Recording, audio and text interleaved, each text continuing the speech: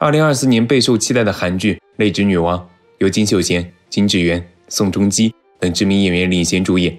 说到这里，不得不提一下剧集的编剧朴智恩。即便你不知道他，那也应该知道他创作的《来自星星的你》《爱的迫降》以及《蓝色大海的传说》。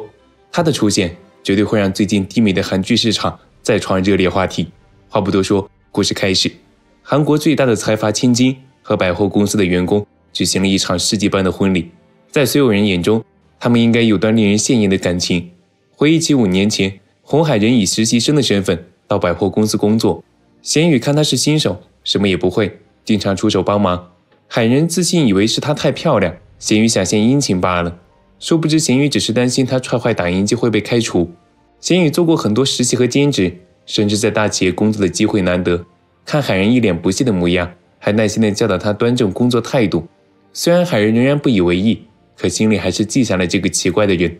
长久相处下来，贤宇对海人产生了感情，一脸郑重地说：“之前是怕海人有负担，所以才没告诉他。不过现在是时候了。其实他是从首尔大学毕业的精英律师，家里养了近三十五头牛，现在住的写字楼还是全年租，超有钱的。只要海人跟了他，就算以后被公司解雇，也能继续让他衣食无忧。还特意提了一嘴，千万不要有负担。说罢，将手里的雨伞递给海人。”自己淋雨回家，根本没听见海人那句“可我有司机”。直到后来有一天，咸鱼躺在家中，一架直升机停在村子正中，伴随着漫天的花雨，海人踩着高跟鞋走出直升机。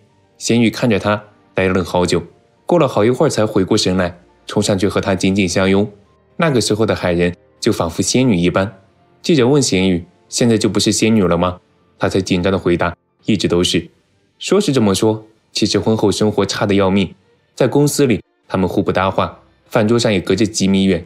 贤宇都在盘算要离婚了，但好友们都不敢和财阀作对，没有一人敢接下这起离婚官司。他们好奇，拥有让全韩国男人都羡慕的神赐般的命运，为什么会想着离婚呢？理由只有一个：韩人是疯子。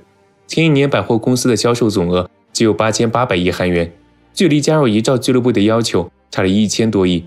眼看对手公司就要加入俱乐部。海人决定将阻碍销售额的害虫全都扫地出门，但有几处柜台已经投资了约五亿韩元的设备费。近期为了改善大型流通业者欺压进驻者，又修订了法律，胜诉的可能性很低。一旦被改走的柜台向媒体爆料，百货公司将陷于不利的境地。这种做法，咸鱼向来都是不赞成的。奈何海人太强势，他也无可奈何。两人之间，不管是工作还是感情，都出现了很大的问题。咸鱼犹豫了好久。总算下定决心打印出离婚文件，可再次见面竟然是家族会议，根本说不出口。在这个家，他可算是受够了。小辈们一有事就找他，岳母太强势，要求两人立即备孕。生下孩子后，贤宇就要去波士顿攻读 MBA，岳父甚至都给他们定下目标，要生一个女儿，名字都想好了，叫秀彬，还要随母姓。两人感情不和，这种情况下生孩子根本不是明智之举，更何况还要让贤宇一人出国。但海人根本不关心，满脑子只有工作的事。为了维持两人的公众形象，还非要举办夫妻专访，用撒谎来证明他们的感情有多美满。不过每次弟弟秀哲对贤宇出言不逊时，海人都会出手教训。反正自己的老公就只有自己能欺负。贤宇和好友一起谈心，几杯酒下肚，醉得不成样子，后悔因为自己太可爱吸引了海人，从而嫁进豪门毁掉人生。说着说着，竟然哭出了声。海人害怕他乱跑传出绯闻。安排了几个保镖日夜跟踪，贤宇的一站一坐，他们都得紧盯。这种金丝雀的日子真是比死还难受。他一路往回走，一边走一边放声高歌。看到身后两个跟踪技巧并不高明的保镖，更是气不打一处来。夜深，海人没有入睡，听见贤宇回家的脚步声，两人都面对面站着，中间却隔了一扇门。他们看不清，也摸不到对方的心意，缓缓伸向门把的手，又都在深思熟虑之后，默默放下了。海人回到床上，看着贤宇的照片，他在想些什么？外界的律师嘲笑贤宇没有自尊，天天为了家族的亲戚擦屁股。海人的姑姑离婚三次，每次离婚都要把夫家揍一顿，成了监狱的常客。大言不惭地说，离婚根本不存在和平分手，必须得死一个他心里才舒服。几天后，到了海人祖母的忌日，家中忙里忙外准备祭祀活动。身为律师的贤宇又要化身成家里的主厨，不过家里每个女婿待遇都一样。什么建筑师、化学师，都只能在这里浪费才能。有的女婿不禁感慨，他可是第三十九代单传，也不知道母亲看到他十秒就能串一串肉串，心里会不会高兴。洪家的直系亲属们什么也不用做，打扮得美美的就好。海人妈坚持让某女士穿上韩服，公公洪会长气势汹汹走下来，给某女士撑腰。海人妈顿时吓得闭了嘴，看着某女士又恭顺地答应公公愿意穿上韩服，变脸极快。海人妈震惊的说不出话，也难怪某女士深得公公的心。真是个高段位的女人。祭祀活动刚开始，刹那间蜡烛熄灭，电闪雷鸣。姑姑盛装打扮出现在众人眼前，她直接端起祭祀台的碗一饮而尽，转身指责父亲：“他不过是踢了几下小三，父亲怎么就忍心将他送进大牢，还让把母亲气得心脏麻痹死掉的某女士进家门？”大闹一番之后，他又一巴掌打下凤九的秀哲，想起母亲就是因为某女士才变成酒鬼，气得破口大骂，直到舅舅告诉他。母亲是因为家族遗传的心脏麻痹才死掉，不关某女士的事。这场闹剧才终于结束。洪会长的另一个儿子回家，却迟迟不肯进门。会长坚持认为他是在作秀，不愿接受不孝子的心意。祭祀都结束了，洪家的女婿一个都不能走。贤宇还有充当岳父的助理在旁待命。集团赵理事提出辞呈，岳父深感背叛，让贤宇找着他的违法证据，让他身败名裂。贤宇觉得赵理是为集团奉献几十年。仅是因为辞职就要断了他的手脚，是否太不公平？可看着岳父脸色渐差，他只好闭了嘴。同时也担心，如果自己说了离婚，会不会遭到同样的对待？贤宇的压力越来越大，已经到了要靠心理咨询维持的地步。每天都要跟家族的人待在一起，任何节假日都不能缺席，可以说一年三百六十五天都没有自由。身为女婿，还要包办所有事项，比九九六工作还要残酷万倍。对了，海人还是贤宇的上司。岳父又是海人的上司，岳祖父又是岳父的上司，想起来就头皮发麻。结婚前，海人承诺绝对不会让他流泪，真是个大骗子。但是离婚有可能会死，不离婚又生不如死，让人难做。医生也只能开几副抗抑郁药，让他好好调理。送走贤宇后，医生给妻子拨去电话，感慨自己真的太幸福了。美容院院长格瑞斯四处吹嘘，和洪家的关系无敌好，可海人每次见到他都是爱答不理。格瑞斯为了在好友面前撑面子，装出一副很熟的样子。海人直接开怼，让他保持距离，结结实实的丢了人。他在心里酝酿了复仇大计，找到贤宇，表面假装打听诉讼的问题，暗戳戳提示海人立过婚前遗嘱，家里的每一分钱到最后都不会留给贤宇，据说还写得非常严谨。海人这种行为根本不是找丈夫，而是在找听话又好用的长工。这些话贤宇听进去了，从那以后，他更抵触海人。对方的邀约全都无条件拒绝。贤宇爸是龙头村的村长，开个耕耘机陷进地里，都还要等妻子来给他解决。他在村子里的人际关系不错，正在想办法连任下一届村长。用他的话来说，贤宇岳父家在经济上是韩国的支柱，他也要在村里占据政界要职，才能维持两方的平衡关系。贤宇一个人回了家，品尝着母亲的味道，这种感觉真是再享受不过了。姐姐对洪家有很大的意见，平时不回来就算了。父亲的六十大寿都不参加，可当所有人听说贤宇想离婚，又改口说六十大寿也没那么重要，反正不要离婚就对了。父亲以为是两人间没有了爱，一时嘴快问道：“你以为我是因为爱你母亲才结婚的吗？”这句话一出，矛盾瞬间转移。姐姐指责贤宇太自私，当年父母卖掉牛，不肯让姐姐读书，都要送贤宇去首尔大学，瞎扯，他上不了大学，只是因为出席率不足。姐夫苦口婆心地说：“自从你嫁进洪家。”父亲开心的每顿都要吃一碗汤泡饭，也是瞎扯。父亲本来就爱吃泡饭。反正不管怎么说，贤宇已经下定了决心。他拿出那张离婚协议，鼓足了所有勇气，敲响房门后正准备开口，海人却率先一步打断，说了一个更加震惊的消息：他患上癌症，只剩下三个月左右了。贤宇真正要说的话，到最后都没能说出口，取而代之的是一句“我爱你”，没有你我根本活不下去。可当海人提出，古代有种方式叫殉葬，贤宇傻笑着说：“其实他也不是非死不可。”早在白天时，海人接到医院电话，想让贤宇陪他一同检查。当时贤宇正在生气，拒绝了这个要求。去哪儿都无所谓，干什么也无所谓，反正不跟海人一起就好。海人的脑袋里长了肿瘤，刚开始只是偶尔头痛，后来经常会忘了自己在做什么，或是什么时候到了这里。本来前一天取消了所有行程，要去赴贤宇的约，可他完全忘了。等到助理提醒，匆忙赶去，咸鱼早就离开了，病情很严重，脑瘤细胞在脑神经之间如雾般扩散，颞叶这边尤其严重，就是因此他才会出现丧失记忆的情况。这种疾病很罕见，可以说是全国第一例，不能靠药物治疗，更不能接受手术，目前没有经证实的可靠医疗方法，就连海人这种富家千金都只能等死。海人这辈子从不吃素食和垃圾食品，也没喝过碳酸饮料，严格控制饮食，每天早上冥想，晚上瑜伽，从出生到现在都活得小心翼翼。实在想不到他是怎么患上这种罕见病的，完全没道理啊！贤宇对检查结果也惊讶不已，甚至担心自己晚上都睡不着觉。才怪，他白天差点起不来，一想到自己马上要自由，还开心地哼起了歌。得靠表情管理才能表现出昨天那种悲伤的情绪。费了好大劲，比 AK 还难压的嘴角才压下去。喊人一向准时，今早竟然赖床了。咸宇轻轻拎起他的衣袖，看着他自然落体，死了？不会吧？咸宇俯下身听他的呼吸，看到睁开眼的海人，不知该怎么解释，干脆吻了下去。两人一同去医院复诊，海人反复提醒这件事情要对所有人保密。洪家的竞争太激烈，一旦让他们知道海人身体不行，肯定会大肆争夺海人的财产。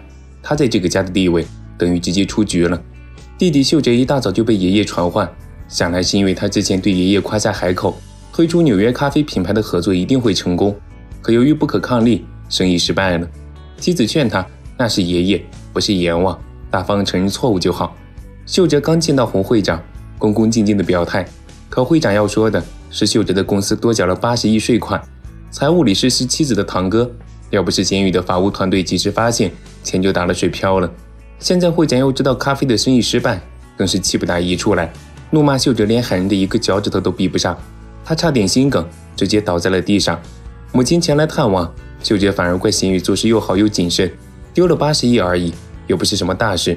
复诊结果和上次一样，海人只剩下三个月时间。他不想再听，起身离开医院。经过大厅时，看到坐在轮椅上的女人，难道剩下的时间？他也会变成那样吗？母亲找到公司兴师问罪，海人说最近出了件大事，没工夫管他们。母亲怪咸鱼把秀哲逼得恐慌症发作，没有问海人到底是什么大事。反正他从小就很能干，大事小事自己都能解决。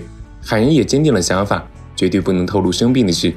好友下定决心要帮咸鱼接下离婚诉讼，他可是为了这段友情都愿意奉上一生的前途。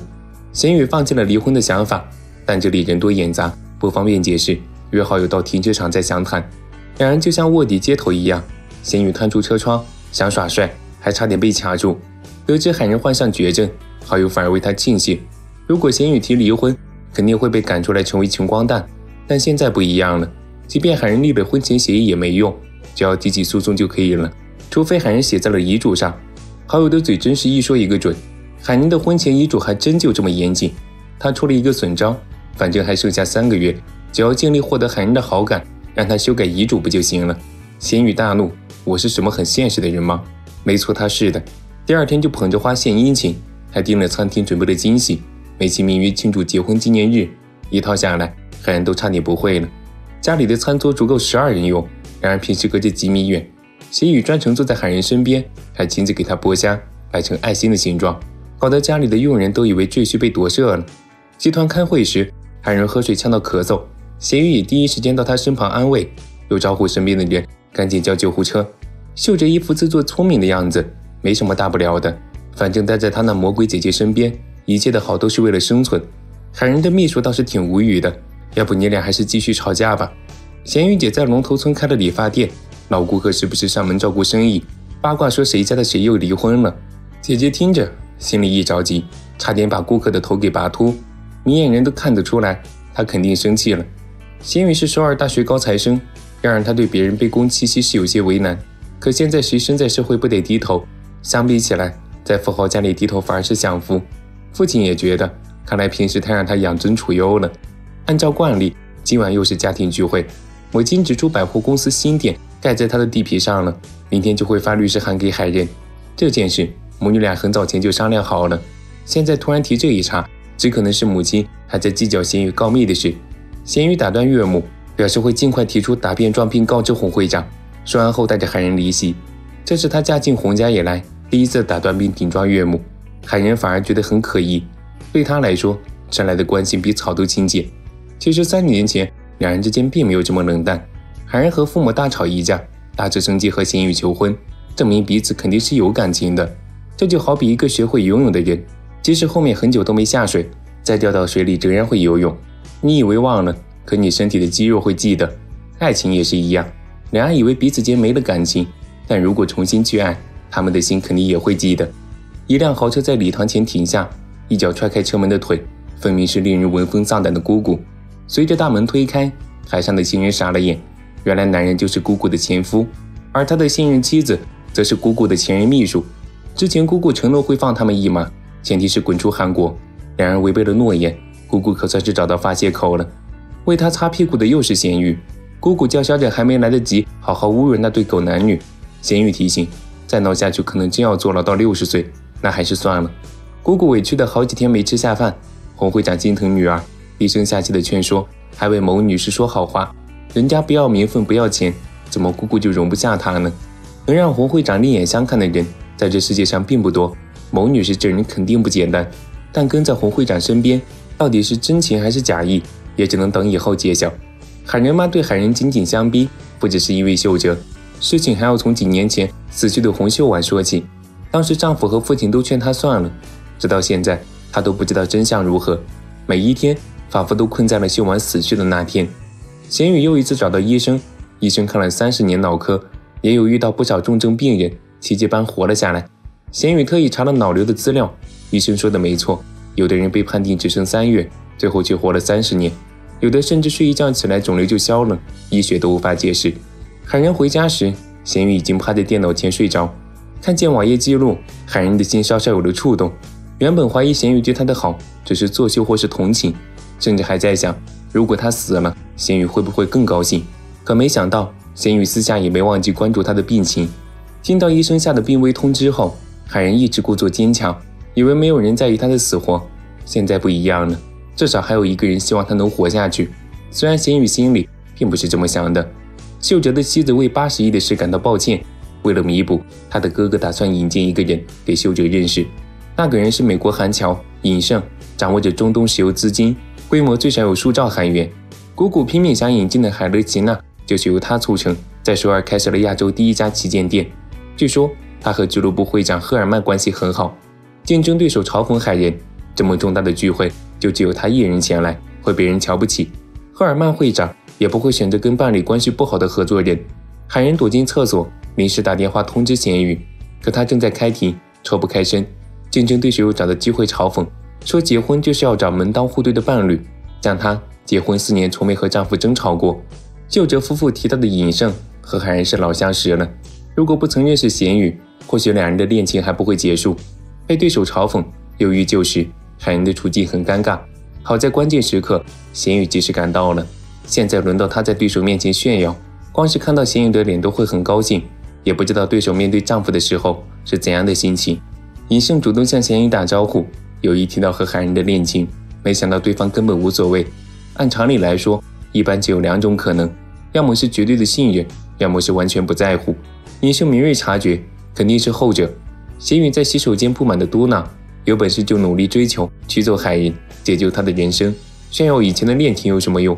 说是这么说，可当他真看到海人和尹生站在一起，心里也是真的不痛快。秀哲一直找不到和尹生见面的机会，妻子只好求婆婆施压，让他说服海人带尹生来参加家族狩猎活动。作为交换，地皮诉讼的事他可以放弃。活动那天，全员出席。洪会长也亲自到了现场，姑姑拿起枪对准某女士，眼里的杀意都快藏不住了，就是担心会发生这种误伤事故。每个人都列了各自的捕猎路线。洪家每年都会举办狩猎活动，锻炼本能的判断力和冷静的决断力。海人次次争先，就是为了证明他最具潜力。这次当然不会例外。没多久，仙玉和海人走散，意外遇到了尹胜。这里并不是他的路线，擅自闯入肯定另有意图。海人在捕猎途中又犯病了，不自觉朝着森林深处走去。一头野猪急速向他奔来，瞬间和贤宇相处的画面像走马灯般闪过脑海。等他回过神来，贤宇已经挡在身前，为他解决了危险。这一刻让他再次有了恋爱的感觉。直到这时，前男友尹胜才姗姗来迟，看着两人手牵着手大摇大摆的离开，吃了鳖一样难受。海珍不小心扭伤脚，咸鱼贴心的将他抱起，咫尺之间，彼此的呼吸都交缠在一起，气氛瞬间变得暧昧。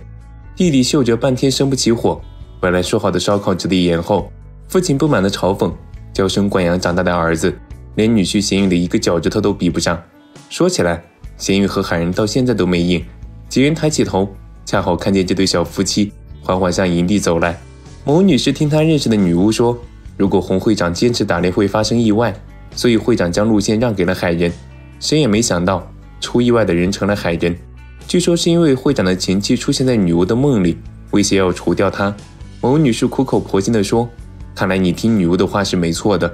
野猪的皮很厚，必须一次射中要害，不然反而会更危险。”岳母和小舅子都认为咸鱼是瞎猫撞上死耗子，只有海人记得，咸鱼可是海军陆战队特别警卫队出身，要不是他勇敢站出来，估计这群人现在只能对墓碑说话了。到了夜晚，咸鱼仍在森林里巡视。发现防护用的铁丝网有人为剪断的痕迹，本来是洪会长要走的那条路线，会不会是有人故意把野猪放过去呢？尹胜在场，会长暂时不打算追究。用餐时，岳父特意给咸鱼夹菜，赞许地拍了拍他的肩膀，还责怪服务生上的桔梗是凉拌菜。他的宝贝女婿喜欢的可是炭烤桔梗。会长看上附近农家的一条狗，据说某次火灾时，还是他将主人的小儿子拖出房间，才阻止了悲剧发生。会长有意愿买下它，却被拒绝，脸色瞬间冷了下来。尹胜注意到这个细节，对他来说，没有钱解决不了的事。不管什么狗，有无血统，尹胜都愿意出价一亿韩元换走对农家有救命之恩的狗。秀杰有些怀疑，他的妻子以前一直在美国生活，怎么韩语就这么流利？不过也对，岳父可是常春藤大学教授，教出一个知书达理、滴酒不沾的女儿也正常。可秀哲离开后。妻子端起酒杯一饮而尽，完全没了刚才娴熟的模样。贤宇叫住小舅子，使劲浑身解数拖延时间，反正就是不肯进房间。可小舅子没空，他老婆还在里面等着呢。小舅子一眼看出来，贤宇这是害怕了，不敢进去。他尴尬地笑了起来，为了展示自己的男子气概，只能硬着头皮回了房。脚不轻的连只蚂蚁都踩不死，结果这些小动作都被海人尽收眼底。他的手受伤了。没办法脱衣服，这个艰巨的任务就交给了咸鱼。直到海人撩起头发，他还有些愣神，都记不得是哪来的勇气驱使自己伸出手去解开扣子的。完事还问了句：“我也要脱吗？”见过夫妻之间客气，可也没见过不熟的。此刻海人还在客厅里回想着咸鱼英雄救美的一幕，不知不觉脸都开始发烫。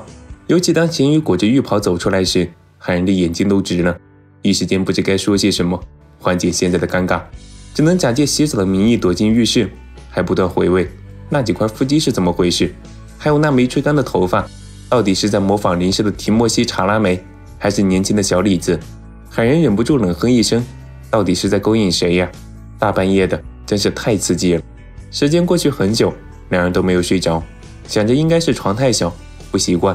可海人记得，他第一次跟咸宇回龙头村时，咸宇用拙劣的借口让他留在家中，之后。明明一直在门外徘徊，却又害羞的不敢敲门，还是喊人打开窗户，要他进来一起看月亮。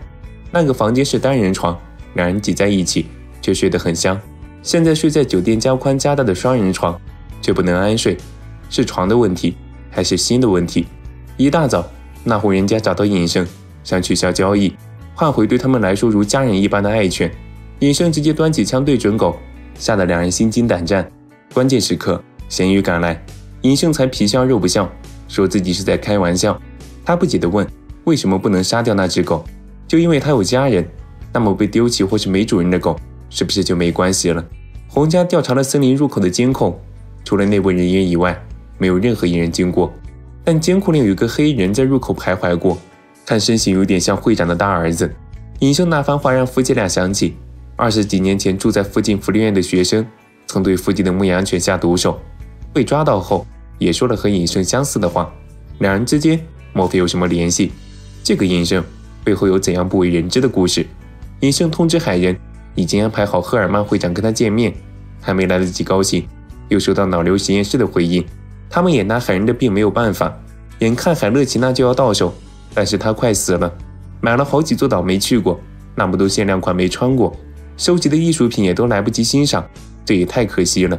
不过最可惜的还是她那宝贝的丈夫，怎么以前就没发现？原来贤宇那么温柔，那么帅气，身上的每一寸肌肤都散发着魅力的气息。海燕忍不住问助理：“她有个朋友，觉得丈夫越来越帅，还想被丈夫宽阔的肩膀拥抱，怎么看都觉得丈夫简直是个性感炸弹，是怎么回事？”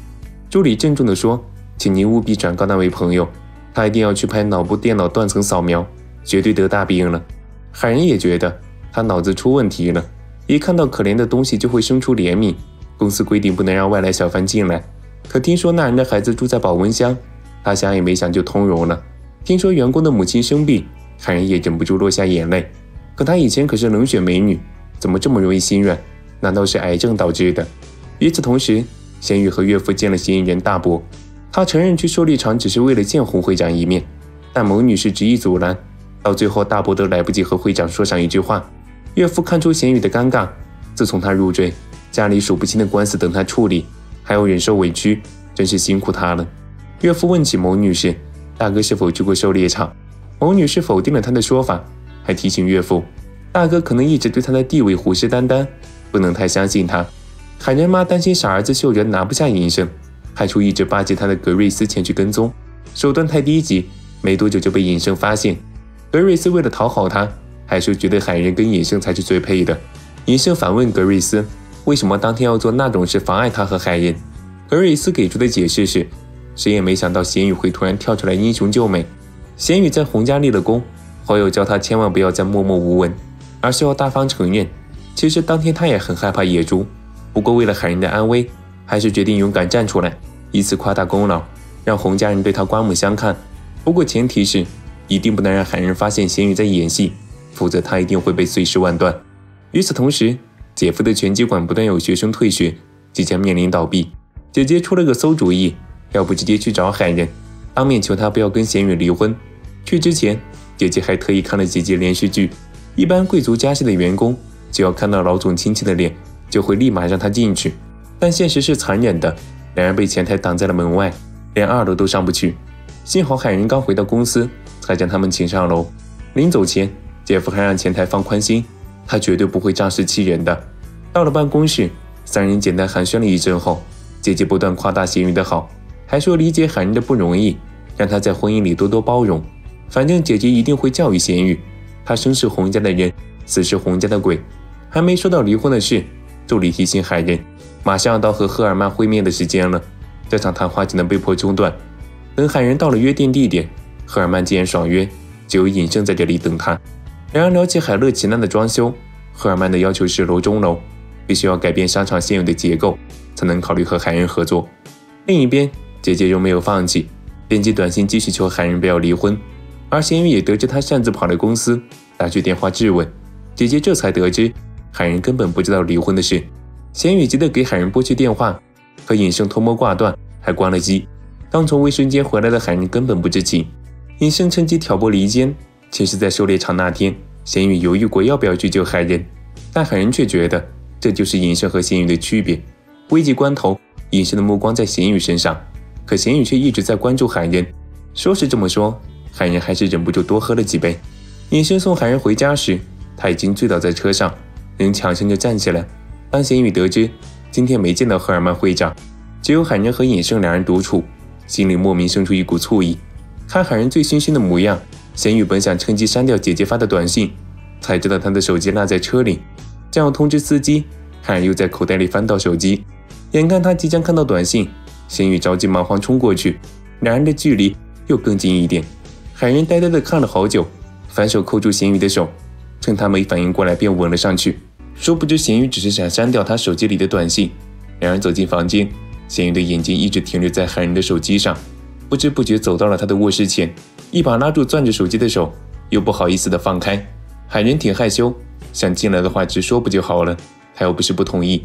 幸好手机没电，海人一时半会看不到信息。趁他洗澡，贤宇像贼一样溜进房间，手机倒是开机了，但密码他又不知道，试了好几个还差点锁机。眼看时间一点点过去，他输入了最后一组数字幺零三幺，还真解锁了。信息成功删除，咸鱼怎么都没想到，海人的手机密码竟然会是幺零三幺，那是两人第一个宝宝的预产期，而咸鱼精心设计的小夜灯，此刻还留在这个房间里。母亲知道女儿女婿去公司捣乱，气得恨不得揍他们一顿。一方要离婚，一方完全不知情，又摊上这么爱捣乱的大姑子，贤宇的婚姻生活能好才怪了。本来两方刚成亲家时，海人妈就很不痛快，毕竟财力悬殊巨大，而贤宇家就只是农村出身，海人妈才不管他们家到底好不好，反正怎么想都觉得女儿不值，说不定是贤宇处心积虑想当金龟婿，能少奋斗好几十年呢。海人妈的态度。算是给贤宇妈心头扎了一根永久的刺。海人的早餐是一杯橙汁，想起这是前一天隐身的嘱咐，贤宇正吃醋呢。海人站起身，缓缓靠近，他嘴都撅起来了，才知道海人只是想拿掉衣服上的脏东西。贤宇不断暗示，刚才的心跳加速只是因为害怕。可当他看到精心打扮的海人缓缓从楼梯走下，待得连话都说不完整，也听不进海人到底在说什么。他的妻子怎么就这么好看呢？怎么看都像是仙女下凡，让人挪不开眼。想着想着，脚步也不由欢快起来。接下来，就算咸鱼努力去挑海人的刺，看他皱着眉头，一看就是要发火的暴脾气，眼睛瞪那么大，真是够凶的。可海人一笑，咸鱼的心又化了，看到玻璃的反光都吓了一跳。海人时常穿高跟鞋走路，差点在电梯上绊倒。贤宇下意识大喊一句小心，整个公司都在讨论哪个疯子在百货大楼里乱叫。贤宇担心他受伤，特意买了双运动鞋。海人的反应是，他的鞋柜里都是昂贵的好鞋，怎么会塞这双打折货？可这双鞋真是越看越好看，他还是收下了。让人不满的是，尹生经常会来公司找海人，说是为了海乐奇娜的公事，但也不至于动手动脚吧？海人一脸娇羞的笑，又是怎么回事？就连好友都看出来，贤宇现在充满了嫉妒，但他还是要狡辩，都是逢场作戏。等我俘虏了他的心。你懂的，我有分寸。在隐身的帮助下，海人和赫尔曼定了见面时间。刚开始，赫尔曼要求海乐奇娜门面必须是楼中楼，但隐身给海人提供了线索：赫尔曼有一位情人，他的妻子又是脾气暴躁的律师。一旦让妻子知道情人的存在，赫尔曼可能都见不到第二天的太阳。这件事可以成为威胁赫尔曼的好把柄。路过贩卖花生烧的小摊，贤宇想给海人带一份尝尝。好友戳破他的谎言。喝醉了记得给某人带吃的，不是暗示什么？此时海人发来短信，要告诉贤宇一个好消息。难道他要修改遗嘱，把财产全都留给贤宇？他一路小跑着回家，花生烧都还是热乎的。看到桌子上的文件，不会真的是遗嘱吧？抑制住激动的内心，打开一看，贤宇傻眼了。那是欧洲最具权威的癌症中心寄来的，他们的研究报告表明，海人的病有百分之五十一的治愈几率。贤宇的心情大起大落。海人还以为他是太开心说不出话，实际上跑出房间的他恨不得直接累死在原地算了。五十一，多么残酷的数字！一旦海人治疗成功，那星宇还是摆脱不了噩梦般的生活，又当保姆又当奴隶，还要被别人监视。光是想想，他都感觉自己老了几十岁。那还是离婚比较现实。但如果提出离婚，海人会不会随便掏出一把枪，直接杀了他？做了一夜噩梦，刚起床就看见隐身到访家中。海人要为隐身泡咖啡，咸鱼抢着多要一杯。海人疑惑，平时他从来不空腹喝咖啡。咸鱼只能尴尬的笑笑，对隐身炫耀：“你看我太太多关心我，说不定满脑子里装的都是我。”隐身也不甘示弱，说海人总是找他帮忙，还说只有他能依靠，真是伤脑筋。咸鱼气不过，找到海人质问：为什么之前他摸海人的头发，海人觉得弄坏发型会生气，凭什么隐胜就可以摸？这吃醋的模样太明显了，海人的心里忍不住乐开了花。尹胜在家里待了多久，仙宇就在外面监视了多久，忍不住嘟囔：怎么就有人笑起来这么招人嫌？下一秒，尹胜就关闭了电动窗帘。仙宇也不甘心，直接趴下看他到最后一秒，甚至躲到门外偷听，一有风吹草动立马闯进去。偏偏小侄子秀哲也想跟尹生合作，各种巴结，将咸宇赶出去，顺带关上了门。海人妈调查了尹胜。他平时接触的都是大人物，其中有一个叫罗伯特·贝利的，被誉为美国避险基金传奇人物。隐身就是他最得意的弟子。但隐身目前只答应跟海人合作，一旦海乐吉娜进驻，海人就能加入一兆俱乐部，到时候洪氏集团就是他的囊中之物，秀哲半个子都拿不到。说不出这些话，都是尹胜安排格瑞斯去煽风点火的。海人妈和海人向来不睦，认定是海人挑拨离间，尹胜才不肯和秀哲合作。真是个自私自利、坏到骨子里的女人。一番话输出，海人气得差点晕倒，还是咸鱼及时赶到，又一次忤逆岳母，将海人送回房休息。咸鱼以为海人一直隐瞒病情，是害怕被家人抢走财产，可今天海人说了真话，他的父母已经失去过一次孩子，何必再让他们担惊受怕一次？反正海人已经被当作不孝女，他不想成为对家人来说更可怕的存在。隐姓联手格瑞斯，诱骗与洪会长友好的理事们，抵押洪氏集团股票做担保，投资基金，投资金额很高，但是回报率高达百分之九十，没有任何人会拒绝。他们还调查到，集团会计组长宋正范经常偷偷挖走公司资金，这些证据一旦交给金融租税调查部，洪会长就得接受检方调查，说不定还有牢狱之灾。洪会长最恨的就是监狱和背叛。当年大儿子误信谗言，以为洪会长要将贪污栽赃到他身上。为了活命，大儿子将洪会长出卖给检方，自己则准备坐上会长的位置。如果是陌生人，或许洪会长早就原谅了。可他遭受的是亲儿子的背叛，说放下谈何容易。回到家，蒙女士为会长准备了晚餐。她说起曾经在小巷里卖报纸、擦鞋，晚上睡在街上盖着报纸，用了六十年。才走到今天的位置。如今他最想念的就是母亲做的热汤，感叹某女士的烹饪简直就像母亲活过来为他做的一样。百货公司来了对无赖夫妻，化妆品购买超过八个月，也已经用完了，想退款不说，还要赔偿。海人刚好赶到，看见这一幕，在顾客想动手的前一刻，径直抓住他的手腕。海人哪是好惹的？百货公司只规定需要接待顾客，不用接待暴力的犯罪者。更何况他们还损坏了公司财物，光是这两条都够他们吃一壶。围观的群众们都忍不住为海人大声叫好。另一边，咸鱼爸准备竞选下一届龙头村村长，但他的竞争对手硕勋一直在使用卑劣手段，还包了村民的吃喝，只为给自己拉票。到了演讲环节，硕勋已经赢得了大部分民心，咸鱼爸明显处于劣势。村民甚至还嘲讽他连儿媳都管不住，结婚这么久也没来看一眼。话音刚落。地面震动，几辆黑车带着大货车驶进龙头村。缓缓走进来的正是百货公司女王红海人。她一出场，整个局势瞬间逆转。比起硕勋那些小手段，海人送的高级补品更能赢得村民的心。要说请客，谁能请得过他这种大手笔的人？这场选举的赢家是谁？自然不用说。与此同时，海人在村庄闲逛时又犯病了。赶回家的贤宇没看见他的身影，急得快要把村庄翻个底朝天。一直到了天黑，海人还在外面游荡。突然出现了咸鱼，就像他的天神一般。这次咸鱼又救了他。其实，在很小的时候，两人就相识了。他们在同一个学校读书。海人即将去美国留学，但总有传闻说他不是去美国，而是要进精神病院。离开学校前，海人不小心摔了一跤，还是咸鱼及时出现，递给他创口贴。两人的羁绊或许从那个时候就产生了。结婚三年，分居两年，夫妻俩好不容易共处一室，又被当作猴一样围观。海人的头发湿了，贤宇家里的电吹风年纪跟他差不多大，还要把线折起来才能使用。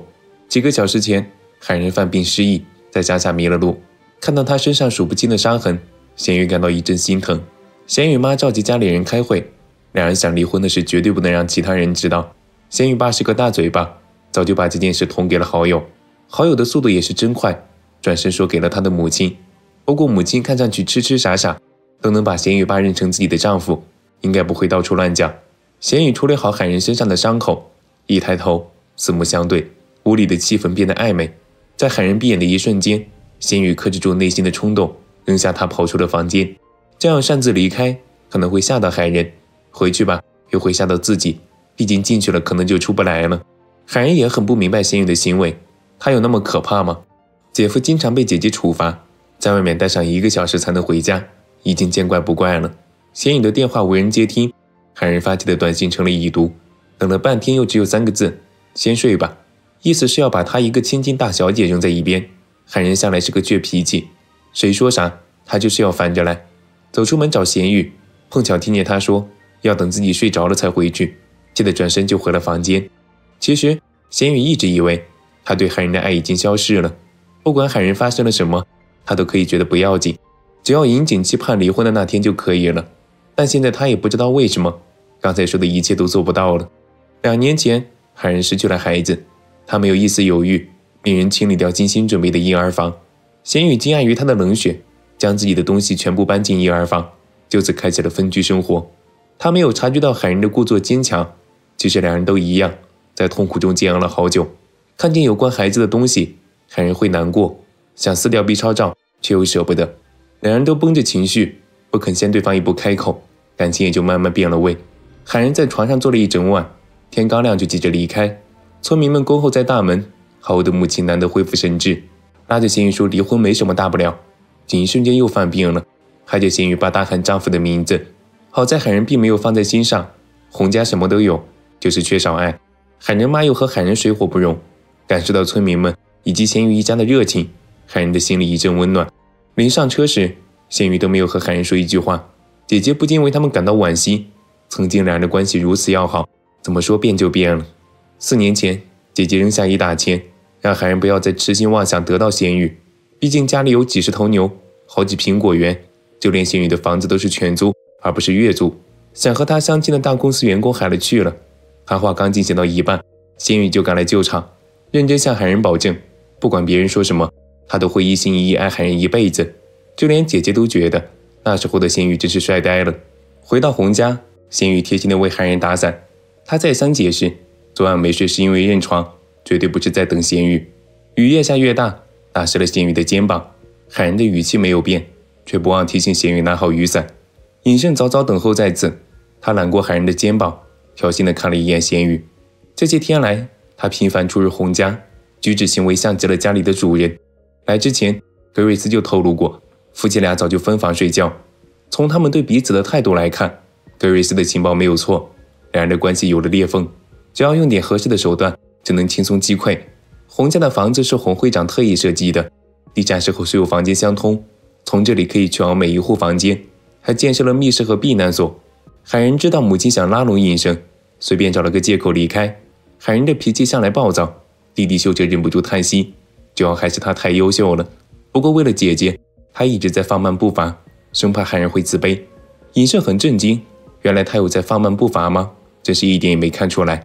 秀哲一直在设计复合式度假村，其中包含两栋五星级酒店、免税店等等设施，需要两兆左右资金。隐生已经答应会投资。他的基金会以中东石油资金为基础，看上去十分可靠。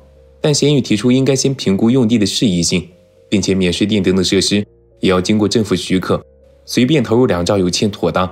洪会长决定先听取他的意见，对用地进行评估。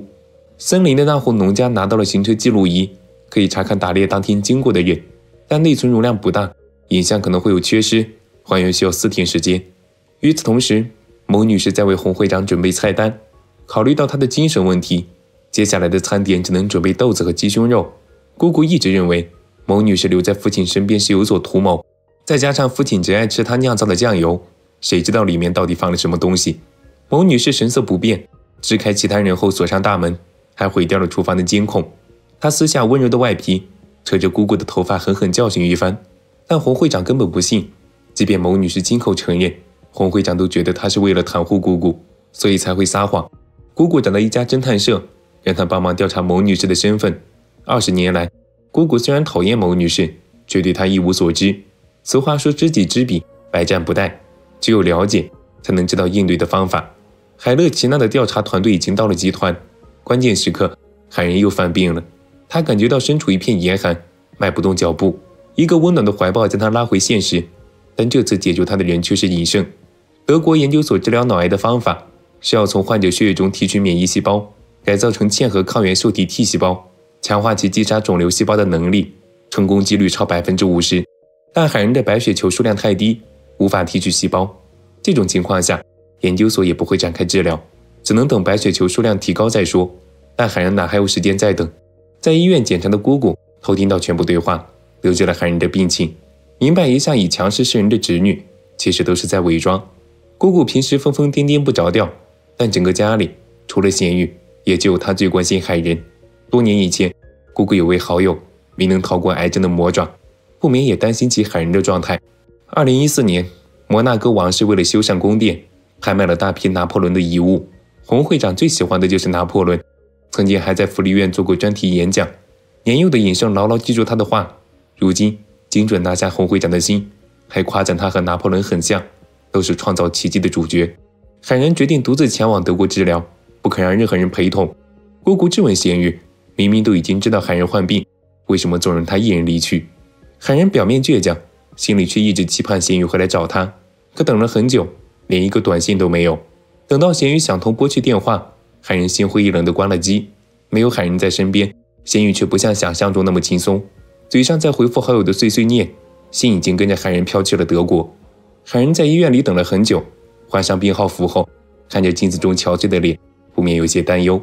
另一边，贤宇看着海人的采访视频，画面里的她说着自己的梦想，希望能够和丈夫像以前一样，继续手牵着手散步。瞬间，泪水打湿了眼眶。她鼓足勇气面对自己的心意，搭上最快一趟前往德国的航班。和韩国医生说的一样，要从海人体内分离出免疫细胞相当困难，想要治疗还是需要时间。可她现在最缺的就是时间。等待回国航班途中，大脑又失控了，他忘了自己在哪，在做什么。等到回过神来，已经身处于无忧宫前。就在他不知所措时，突然传来咸鱼呼唤他的声音。他以为出现了幻觉，直到咸鱼站在面前，还为他换上运动鞋。那种真实的触感，眼前发生的一切都是真的。结婚时，海人承诺绝对不会让咸鱼流下眼泪，可他婚后的生活简直每天都是眼泪拌饭。作为惩罚。他保证要一辈子待在海人身边，而这正是海人所需要的。夫妻俩终于解开心结，紧紧相拥。路过的老人感叹他们的感情像极了自己和妻子，但海人还在为癌症忧心。死前，他想试试从未尝过的泡面，虽然不太健康，可一想到没吃过就死了，总觉得有点冤。顺便还说起，等到他离世的那天，希望咸鱼不要祭拜他，只需要在桌子上放几个限量款包包。或者听一下对手会说他什么坏话，把这些人告到倾家荡产。如果咸鱼要哭的话，就在摄像机下哭就好了。即使他躺在棺材里，应该也是能看到的。最重要的是，母亲逼他写了份婚前遗嘱，一毛钱都不留给咸鱼。现在他想改掉，这也是咸鱼的心愿。可不知为何，他竟没有一丝喜悦，只期盼海人会好起来。秀珍和妻子多惠结婚多年，一直被他当做傻子对待。两人第一次相亲时。秀杰就坦言有姐姐恐惧症，也不知道他发现多惠实际年龄比他大五岁会是什么表情。海人妈每年都会准备上好的百年山参给秀杰补身体。姑姑想把山参送给海人，但海人妈却觉得那么强壮的人吃这种东西是想要成为超人守护地球吗？秀哲也不情愿，他都吃了二十年山参了，凭什么把这种待遇让给海人？海人爸养的蜗牛破了壳，每天要喂蛋壳才能补身体。姑姑触景伤情。想到了海人，只能用酒精麻痹自己，但海人爸却误以为他又来骗酒喝了。咸鱼两人在德国的酒店住下，电视台全是德语，看不懂。关了电视又是一阵尴尬，明明都想解除分居，又不肯先开口。在卧室门口僵持了好一阵，咸鱼才试探性问出能不能一起睡觉。海人假装端着架子，踮起的脚出卖了他的情绪，缓缓憋出一句：“从今天开始都可以睡在一起。”可到了床上。两人又开始不自在。海人提起海乐奇娜的百货代表出了车祸，她的丈夫只在乎遗产会分到手里多少。海人对咸宇倒是满意，在得知她生病时，咸宇第一句话是我爱你。在那之后，从没提过遗嘱和财产的事，咳嗽一下就大惊小怪，彻夜未眠都要搜索癌症病情。说着说着，咸宇心里虚得要死。如果让海人知道一开始他是在计划修改遗嘱，会不会被一个手刀劈成两半？德国研究所对癌症的研究结果。实际上只针对成功几率高的患者治疗，研究数据并不准确。海人得知他们可以治疗癌症后，资助了一百万美金感谢费，但他们没有进行治疗的行为，可视为欺骗。在咸鱼的一通威胁下，研究所长答应可以试试有个叫奈维血天的注射疗法，提高白血球数量。海人的病有了新的希望。格瑞斯通风报信，多惠在猎场的行动被行车记录仪拍了下来，要不是隐身帮忙处理，他早就被洪家驱逐了。不仅如此，多惠总是躲在庭院里抽烟。格瑞斯为了帮他删除录像，都学会了剪辑。客厅里的海人妈听见两人模糊的争吵，格瑞斯为了转移注意，只好化身按摩师躲过一劫。他还没忘了挑拨离间，说咸鱼已经知道了遗嘱的事，最近好像一直有所行动，说不定是想抢走秀哲的那份财产。秀哲劝洪会长好好考虑度假村的建设。多惠看到傻气的丈夫，想起两人初次相遇的那天。年幼的隐身拿球砸了秀哲，海人冲上前保护他。等到两人都离开，多惠才上前安慰他，还说要做秀哲的妻子，却遭到了拒绝。没想到现在多惠美梦成真，还有了个儿子。苦苦怀疑这孩子和秀哲一点也不像。格瑞斯帮忙打圆场，已经做过亲子鉴定了。倒是秀哲气得不行，骂谁都可以，就是不能欺负他的宝贝妻子。再说了，儿子多好啊，虽然眉毛、鼻子、头发还有脚趾都不像，但他确认这绝对是自己的孩子。自从海人去过龙头村后，不少年轻人都慕名来访，在他做过的餐桌拍照，打卡他去过的每一个地方，美其名曰富豪的疗愈之旅。就连海人抱的狗都成了网红。数十年来，咸鱼爸费尽心思宣传龙头村都不行，海人只是来了半天，这里瞬间成了爆火的网红村。但遗憾的是，海人吃了一口苹果，村子里的代表水果就成了苹果。可咸鱼爸刚开始是想把龙头村改为梨之乡。咸宇在德国偶遇白人美女搭讪，海人咬牙切齿站出来宣示主权。看到咸宇一脸享受，又翻起旧账。听说龙头村校长的女儿是咸宇的初恋，会不会远远看到那个人都很开心，甚至会为了多看他一眼还会绕远路？真是越想越气。与此同时，洪家来了批修理工，需要修理豪宅的监控，实际上却是格瑞斯请来，为了打开咸宇的保险柜，看到里面藏着的离婚协议，格瑞斯不禁笑出了声。在德国的这段时光，算是弥补了夫妻俩分居的遗憾。他们在大街上游荡，尝试各种街边小吃，彼此的手碰到的一瞬间，心里的小鹿又开始砰砰直撞。几天后，海人胖了整整三公斤，免疫力提高，就能进行奈维血天注射。临近手术室，海人看见一个男孩的身影，思绪瞬间被打乱。他跟随男孩跑出研究所，等男孩一回头，某些不愿回想的记忆瞬间涌入脑海。秀哲得知海人失踪。急得在周围找了整整一个小时，前方有人出了车祸，他焦急冲上前，还好不是海人。就在这时，海人回来了，他冷静地说起，那个小男孩长得像极了他的哥哥洪秀婉。小时候，海人跌进了海中，哥哥为了救他，再也没能睁眼看这个世界。在那之后，母亲再也没能原谅海人，这件事也成了海人心中的刺。他总觉得抢了哥哥的生活，直到现在都愧疚自责。总听别人说死前会有亲人来接应，现在看来应该是时间到了。尹生松的话挂在了会客厅正中央。他有意提起自己和其他公司正在谈合作，不免让洪会长担心度假村的投资。祸不单行，集团的宋组长侵占公司一百三十亿韩元，还捏造财务报表，洪会长可能也会被警方传唤。某女士无意间在桌子边发现窃听器，这种大小可以在半径两公里内发现微波接收器。管家带人排查整栋豪宅，在咸宇的房间里找到了接收器，谁也没发现尹胜送来的画里还有一枚监视器。海然和咸宇出国好些天，是有人想要栽赃也说不定。之前送去环业行车记录仪的商铺关了门，但咸宇早有准备，他在对面停好的车应该拍下了一切。与此同时，姑姑调查到某女士的真实身份是本该在三十年前就死去的吴顺荣，据说她还有一个私生子。吴顺荣隐藏身份躲在洪会长身边。有怎样的目的？另一边，洪会长敲开咸鱼的保险箱，发现了那份离婚协议。格瑞斯趁热打铁，说咸鱼最近和一个律师朋友走得很近，据说那个律师还是在对手的事务所上班，合理怀疑窃听计划就是咸鱼和对手联手干的。海人收到家里的短信，也看到了离婚协议。咸鱼没有狡辩，承认他是想过要离婚。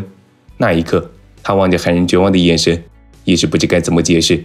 回想起两人结婚前。仙宇担心他会淋雨，将唯一一把雨伞递给他，自己却选择淋雨回家。坐在车里，海人让司机放慢速度，呆呆地看了仙宇好久。从那时起，他就在心里有了和对方厮守终生的想法。难道这份情谊最终还是被辜负吗？街道上的人群缓缓离去，两人挂上的爱情锁留在原地。回到房间里的海人失了神，望着咸鱼紧握着他的手，只觉讽刺。他不想再听咸鱼的解释。抽开手，转身离去。电梯门关上前一刻，两人四目相对，却也再没开口说上一句话。海人想着心雨的温柔，想着他的奋不顾身，原来一切都只是个梦罢了。在他即将离世时，温柔却残忍的臆想。海人又犯病了。等他反应过来时，已置身于车流中。货车疾驰而来，他反应不及，还是咸鱼冲过来将他拉进怀抱，像以前一样充满关心的话语。可海人再也感受不到丝毫爱意。他推开咸鱼的手，心像被撕裂一般难受。秀哲得知咸鱼想要离婚，感叹道：“怪不得他最近对海人万般迁就，原来是早有准备。不过按照咸宇那种柔弱的性格，可能幕后还有人在指使。想到前几天看见姑姑和咸宇争吵，莫非他们在说什么惊天秘密？海人的白血球数量以及淋巴球数量比例没有提升，奈为血天疗法并无效果。医生最好的建议，只能让他充满求生意志。海人坚持出院，对咸宇的关心视若无睹。望向他的背影，咸宇心中只剩下内疚，却还是坚持追上去抓住海人的手，违心的说着和他在一起本就痛苦。直到听说海人三个月后就会离世，才感到无比庆幸。一切的示弱讨好，只是为了让海人修改遗嘱。咸宇用极端的方式唤醒他愤怒的情绪，让他鼓足精神准备离婚官司，将死亡抛诸脑后。第一轮刑侦结束，但律师团队认为调查不会到此为止。洪会长迟早要收到传票，被检方传唤。问题是，这么大的投资合约就在眼前，若这件事被投资方知道，很可能签约就毁了。眼下最重要的是让秀哲出面，立刻和尹胜完成签约。度假村一旦开始施工，用地限高导致许可有问题的事，就会传到共同投资者耳朵。侵占问题爆出来，洪家人一个个进监狱，尹胜就能行使转换权。取得女王集团的股份，成为最大股东。洪家就咸于筹备离婚的事召开会议。他曾是公司的一员，离开之前必须让监察组查个一清二楚。他的电脑、会计资料、手机账户等都要做数据鉴定。海人也决定，但凡发现一丁点侵占或是非法危害公司的行为，绝对不能放过。洪家有所行动，好友为咸鱼感到担忧。他却只记得海人流泪的模样，一时恼怒自己竟然伤害了海人，连好友都看出来。咸鱼真的动心了，但海人如此火冒三丈，肯定会想办法折腾咸鱼。他不以为意，因为只有这样，海人才会有活下去的动力。咸鱼指出合同的猫腻，尹生和秀哲签下度假村工程，又推荐了顾问公司，预估年利润是五千亿，但衡证结果只有八百九十亿韩元左右，其中有很大的问题。但秀哲根本不信咸鱼的说辞，咸鱼只好找到洪会长解释说，集团宋组长的文件一直都是由赵律师签合。照片旁边的人是集团外部会计事务所黄代表，两人是大学同学。宋组长侵占公司财产五年，却从没被发现，很可能就是事务所从中作梗，并且幕后一定有人操控，也肯定是操控者设计了窃听器那一幕。但那个人是谁，咸鱼并不清楚。与此同时，一直在监视的尹胜打电话给赵理事通风报信，咸鱼妈做了个怪梦，心绪不宁，特意给咸鱼打去电话询问。海人妈拿着他放在外面的手机和亲家母通话，表示已经得知了离婚的事。在两人结婚当天，亲家母万般嘱托不要干涉小两口的事，他们才会幸福。但现在闹成这个样子，他们离婚已是板上钉钉的事。某女士劝海人妈不要冲动，多想想当事人的心情。姑姑赶过来打探消息，还瞪了某女士好几眼。她牢记侦探的叮嘱，像某女士这种高段位的坏胚子，没有证据就出手，出糗的只能是自己。姑姑旁敲侧击打探某女士的身世，没想到马上就被转移了话题，将矛盾又引到姑姑身上。而她也因为担心海人，懒得再跟某女士计较。海人在离婚协议上盖了章，他终于明白为何姑姑每次离婚都要把前夫折磨个半死。海人也要让贤宇凄惨的滚出洪家，但贤宇告诉他，千万不要和尹胜走得太近。本来两人很久都没联系，如今突然出现，还牵扯了度假村投资以及海乐奇娜的合约。并且贤宇将行车记录仪送修的店铺，在尹胜出现后，老板就消失了，实在太可疑。海人身着红色战袍，重装上阵，又恢复了之前大女主的气质，闪亮的配饰差点闪瞎旁人的双眼。只有秘书清楚，海人穿得越华丽，就越是心情不好，那就表示大家都死定了。有人不慎将咖啡洒在资料上，本以为要被海人抽筋扒皮，可他却温柔地表示，现在任何事都不能盖过他对某件事的愤怒。监察组来公司调查，所有人都知道这是海人针对咸鱼的大战。两人的秘书开始对照彼此的行程，确保他们不会见面，引发更大的问题。就连日常工作也是由秘书们口头转述。这次大战史无前例，火药味充斥着整个公司。秘书们代号猫头鹰和老鹰，随时确认海人和咸鱼的动向。即便他们交换情报及时，意外还是发生了。咸鱼秘书发送简讯时，忘了咸鱼也在群组里，而海人。也和他们搭上同一班电梯，两人的谈话像子弹，无形在众人之间穿梭。几乎每个员工都受了内伤。集团高层们用股票做担保的投资出了问题。照理是完成隐身的计划，准备逃离国外。并且永远不再回国。与此同时，被买通的保姆翻出撕碎的病历单，拍照发给了尹胜。想起在海人包里看见的药瓶，尹胜突然明白了什么。咸宇四处打听照片中的手表，得知这是隆德弗雷迪克的限量款，全球总共发行十只，要找到购买者应该不会太困难。另一边，秀哲学自行车时摔倒，母亲很心疼。从小到大，连陡一点的滑梯他都不让秀哲玩，一直让秀哲活在保护下。但他现在坚持学车，就是为了某天能教会儿子。听到这番话，多惠的心里产生了变化。秘书跟踪咸宇，查到他总是鬼鬼祟祟在顶楼花圃边。叫着一个女生英叔的名字，但喊人不意外。这个英叔他知道是谁。跟踪贤宇的保镖将他的动线做成了表格。他下班之后经常一个人去打棒球，或是去一家家常饭馆吃晚餐，之后就会去家附近的小学跑步，边跑边唱歌，还大叫。唯一私底下见的生物就只有一只猫，很奇怪，却又没有任何异常。而且贤宇的手机里全是海人的照片，哪个想要离婚的男人？会把妻子拍得这么漂亮，由此可见，贤宇离婚肯定不是因为外遇。海人查了贤宇的账户，他偶尔会取数百万韩元。同一天，他必定要在红磨坊花店刷卡三十万。今天也买了花，送给一个叫金敏智的女人。找到人才知道，金敏智其实是百货公司的员工。他母亲因病去世，咸鱼代表海人送了慰问金，还为其举办葬礼。看着灵堂的风格和装饰，以及为死者吊唁的亲人。海人不禁去想，他离开的那一天，有人会为他真心哭泣吗？海乐吉娜的合作即将敲定，有了赫尔曼的把柄，他同意撤销楼中楼的要求，建筑手续费也只需要百分之八，但前提是必须由海乐吉娜总公司亲自招聘员工。海人问及尹生为何要帮他，尹生只说他想要海人和贤宇离婚，由他来填补海人身边的空位。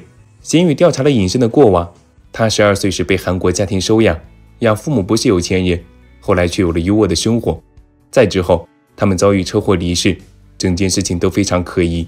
与此同时，某女士找到尹胜，亲切地唤了一句“儿子”，却遭到尹胜冷眼相待。在洪家见到某女士第一眼，他就认出那是母亲。某女士回忆着以往的悲惨遭遇，也希望哪天可以把儿子抱在怀里。而现在要做的，就是联合起来把洪家人赶出去，占领他们曾拥有的一切。某女士为表忠心。贡献名下所有资产，让洪会长解决眼前的问题，并愿意替他坐牢。洪会长不清楚某女士的计划，感激之情无以言表。贤宇回家时，偶遇在路边喂猫的海人，他为对方披上外套，海人没有拒绝，却忘了自己是怎么来到这里的，也忘了这段时间发生的所有事，记忆只停留在去德国治疗之前。贤宇生出莫名的恐惧，紧紧把他拥入怀中，听海人说着爱他，那一刻。心里的疼痛急剧放大。贤宇虽然贪恋他的温柔，却更想海人怀着愤怒。只有这样，他才有活下去的希望。在仙宇的帮助下，海人找回被他遗忘的记忆。再经历一次，他仍会心痛，双眼不自觉泛起泪光。虽然根本不能接受仙宇要跟自己离婚，但事情就是如此，容不得他不承认。海人觉得很可笑，明明他刚才还以爱人的姿态享受着仙宇的拥抱。再回过神来。两方已经在写律师谈判，文森佐态度很强硬，绝不接受协商。他指出，贤宇离婚协议上的声明是两人性格不合，但海人可是含着金汤匙的美女富三代，任谁来看都会觉得这种身份性格不好很正常。一旦离婚，海人不就丢脸丢大发了吗？最好的方法是宣告两人工作太忙渐行渐远，所以才和平离婚。贤宇倒是无所谓离婚的原因，反正不管怎么说，那都不是真的。海人回忆着和贤宇的过往，那时候他还不知道自己是洪家千金。两人站在地铁里，即使很拥挤，可有了贤宇的陪伴，他也算体会到不一样的人生。记得四年前第一次正式约会，海人包下整个海洋馆，贤宇还在疑惑最佳约会地点怎么空无一人时，海人就偷偷对监控使眼色，命令工作人员赶紧换爱情音乐。贤宇不禁感叹，看来是老天都在为他们的爱情铺路。毕竟不管去哪。现场总是只剩他们两人，于是贤宇单膝下跪，为他戴上早就准备好的求婚戒指。但如今只剩下海人一人，看着贤宇一天的行程发呆。他决定去感受贤宇的生活，在投币式棒球馆打了好几个小时棒球，又去了家常菜馆，偏偏碰上贤宇和豪野到这里用餐，吓得他连点菜都要小声。偷听到两人的谈话，才知道贤宇虽然每天都在被洪家打压，可他发自真心不想离开，不为别的，就是为了可以和海人在一起。尹生调查到海人常服用的药物，功效是治疗恶性神经肿瘤。他攥着一根项链，回想起幼时从一条恶犬口中救下海人，自己却因此受了伤，还挨了狗主人一个巴掌。海人站出来为他说话，因为海人是洪家女儿的身份，狗主人才罢休。当时没有一个人搭理尹胜，除了海人。他小心翼翼用手帕给尹胜包扎。等海人离开后，尹胜捡起他掉落的项链，而这根项链被他当作宝贝一般保存至今。夜深，海人回了家，尹胜拉着他的手。问他为何还不把咸鱼赶出公司？洪氏集团以及海人真正需要的人是他尹胜才对。可海人却说，他考虑了很久，决定放弃海乐奇南的进驻。赫尔曼会长会同意签约，是因为尹胜，而不是他。那种利用他人的想法，让海人心里很愧疚。但尹胜却意味深长地问他：“如果有一天你一无所有，还会这么想吗？”格瑞斯怂恿海人妈尽早夺走咸鱼法务理事的职位。亲家母打来电话，要求和海人妈见面。出发前，他特意去了女儿的理发店，要做一个充满歉意，但也不会太卑微的发型。一见面，贤宇妈就表示了诚意，指责贤宇太冲动，做事不考虑后果。但海人妈坚持认为是贤宇安排她作秀，这样才能分配到更多的财产。两方谈话最终不欢而散。贤宇妈受尽委屈。贤宇调查到那块手表的十位顾客名单，只有一位是韩国人。六年前在曼哈顿第五大道的门市买下。另一边，尹生一直跟踪海人，却被突然冲过来的跑车拦下。走下来的人竟然是贤宇。他早就知道秘书偷偷给尹生通风报信，不费吹灰之力就套出了行踪。而在尹生的手腕上，正好就戴着那块限量款手表。秀杰的度假村预定地附近有军营，几次三方沟通都不肯迁移。之前联系的国土部次长不接电话，这也就意味着秀哲的投资计划。全都告吹了。洪会长打来电话，秀哲做了好久的心理建设，才敢挂断电话，不然又要挨一通责骂。这个时候，秀哲倒是想起咸鱼了，他极力讨好，承认是被隐身诱人的条件吸引，情急之下才会签约，求咸鱼帮忙处理度假村的意外。他不仅是海军陆战队出身，还是特别警卫部队，一定有办法。洪氏集团的度假村正面临利空，本来计划的九十层高楼酒店，因附近的军营。必须降低到三十九层，酒店预计收入大幅减少，投资者要求提前偿还投资金。好在有贤宇的帮助，他仔细调查了军营以及酒店的地形，给出一个最稳妥的解决方案。按理来说，事情应该圆满结束，但投资者们仍然坚持撤资，理由是洪会长的金库守门人正在被检方调查，没有任何公司愿意冒风险投资。贤宇又收到消息，尹胜要单独投资度假村九千亿韩元。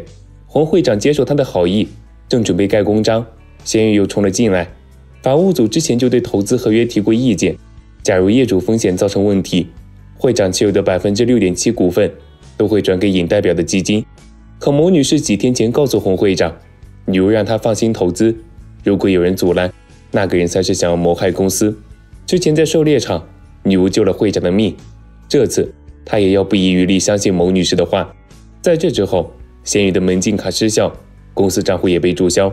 保安组要求他将有关公司的一切全都上交，干干净净离开集团。还是海人及时出来救场，不过他也不理解，为何咸鱼要死皮赖脸留在这里。咸鱼刚走出公司，又被姑姑拦截。他不关心公司现状，只在乎咸鱼为何坚持离婚，到底是不是有了别的女人？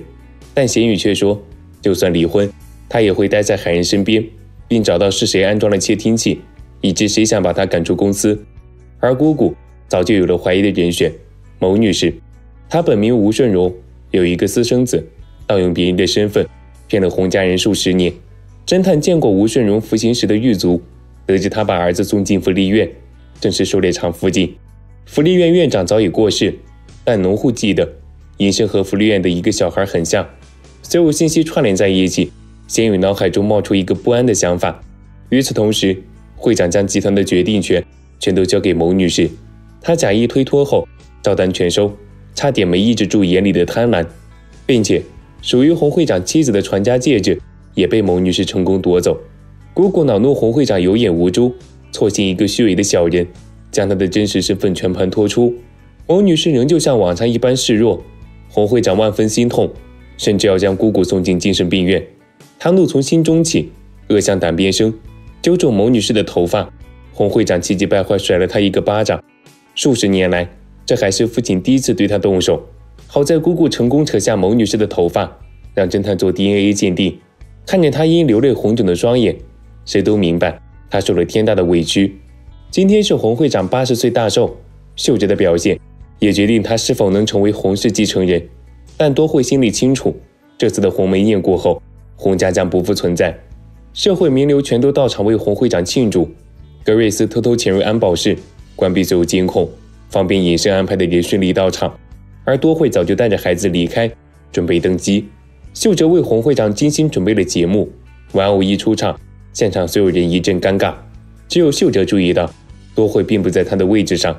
秀哲回到家里寻找妻子，卧室一片狼藉，桌子上放着多惠留下的一封信。刹那间，他只觉天崩地裂。出门太急，秀哲忘了带汽车钥匙。他骑上自行车，笨拙的前行，即便摔倒也艰难的爬起，生怕晚一秒就会和多惠相隔万里。可不管他如何呼喊，那个人再也听不见了。鉴定结果很快出来了，贤宇拨起电话通知洪会长，牟女士和尹胜确认为母子关系，而集团大量的股份已经流向尹胜手里。挂断电话，洪会长还来不及问，心脏传来一阵刺痛，而牟女士主动承认在洪会长的药里动了手脚，但她不会立马就死，只有昏迷，某女士才能成为他的代理人。清醒的最后一刻，洪会长听见她问。为什么不相信贤宇和姑姑，反而相信他呢？洪家人接到消息赶到医院，可只有经过代理人的允许，保安才会放心。而现在的代理人以及法定监护人正是某女士，他还不忘嘲讽洪会长得多不信任这些子女，才会委托他来全权处理意外情况。这次洪氏集团业主全家的经营权被剥夺，某女士自然而然投靠尹胜，洪家人一夜之间失踪，没有人知道他们去了哪里。就连贤宇家人也没再收到他的音讯。夜里，一辆车缓缓开向龙头村，贤宇终于露面，还带来了海人以及洪家余下的所有人。虽然很别扭，但他们不得不承认，从现在开始就要靠一直看不紧的亲家帮衬了。